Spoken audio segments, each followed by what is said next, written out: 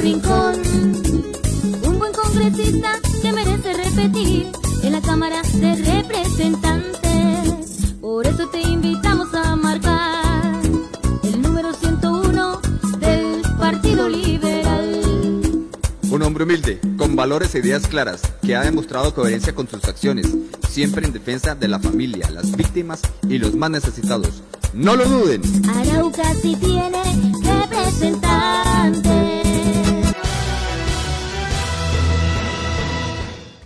los concejales del municipio de Arauca se encuentran preocupados por la falta de recursos para la Asociación de Tracción Animal o conocidos como carromuleros en el municipio de Arauca.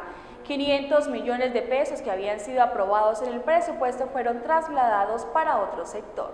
Concejales del municipio de Arauca preocupados porque los 500 millones de pesos que fueron asignados para los trabajadores de tracción animal no aparecen en el presupuesto del municipio. En el recinto se encuentra la oficina de, de apoyo con quien vamos a dialogar a ver si esta gente por emprendimiento se le puede dar la oportunidad de que tengan ese anhelo que han pedido hace cuatro años, llevan atiendo a la administración de municipal, que le hagan cambio de los carros muleros, de las carros muleros hacia las motocargas o camionetas para reemplazar estos animales por aquello del maltrato. Pero yo creo que en el día de hoy podemos sacar unas conclusiones buenas. La administración pasada dejó asignado 500 millones de pesos para este gremio. Precisamente ayer en las, en horas de la tarde, como a las dos y media, tuve cita con el señor secretario de Hacienda Municipal y le pregunté cuántos recursos habían para esta gente y no hay un peso, no hay plata ya debido a que el, el, Consejo le había otorgado al señor alcalde la autorización para modificar el presupuesto, pues la administración que hizo fue cambiar la plata que había para ellos, 500 millones de pesos,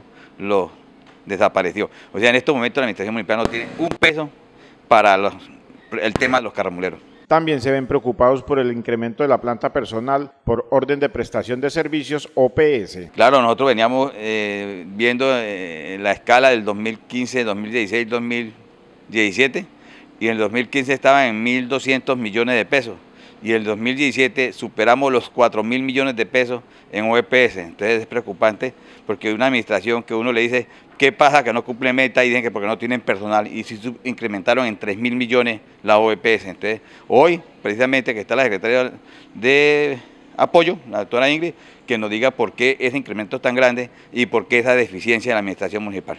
Según el concejal La Torre, con tanto personal por OPS, la administración municipal presenta falla en la parte administrativa.